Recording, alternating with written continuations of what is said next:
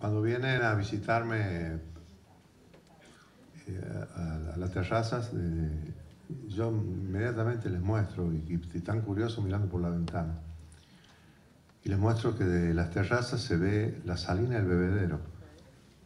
A veces cuando hay muchas, nos imaginamos que vemos la concagua, no sé, algo de la cordillera. Esos días de mucha visibilidad se ve eh, el icono geográfico de, lo que sería la punta, lengua de tierra que sobresale en el mar.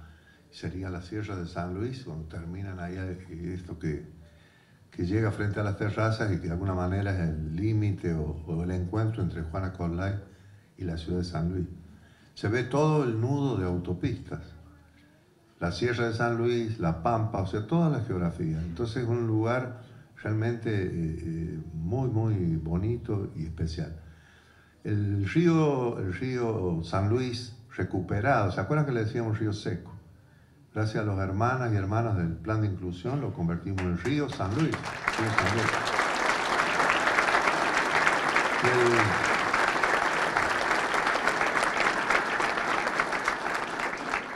El, río San Luis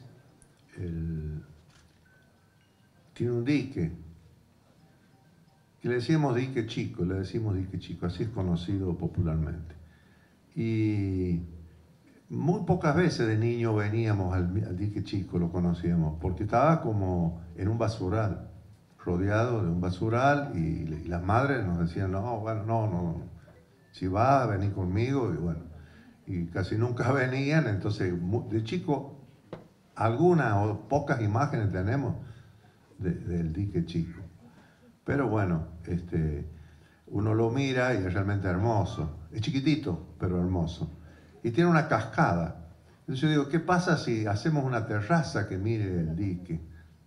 Que mire ese dique chico y la cascada. Es como una luz, simplemente iluminando la cascada. Este, bueno, al, viajero, al que viene a conocer, o, inclusive eh, las terrazas tienen que estar abiertas, todo el parque este hermoso, para los visitantes.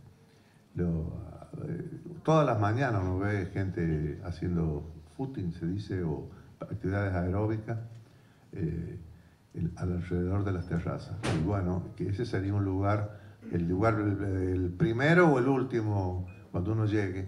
Y abrirlo también para que eh, el, puntano, la puntana tenga otro lugar donde pueda hacer lugar, un lugar de encuentro. Entonces, bueno, cuando tenga que los chicos de las promociones, por ejemplo, pueden usar ese lugar o, algún casamiento, cumpleaños de 15, cuadrera o este, bautismo, como se dice, como decía el poeta Agüero. Bueno, eh, y acá atrás, ah, sería allá, este, que están, siguen las sierras y por el medio está la autopista, ahí haríamos un mirador más alto para poder ver todo, todo, todo lo que no, estos paisajes este, y que eh, imagino también que va a ser un lugar para recibir o, delegaciones o lo que fuera que conozcan y vean ahí y tengan una, suerte de lugar para un refrigerio o algo así. Insistiendo, insistiendo se logran las cosas y bueno, yo quería que esto, que las terrazas eh, las soñé como un parque y siempre nos quedamos un poquito atrás, atrás y no, no le hemos puesto trabajo.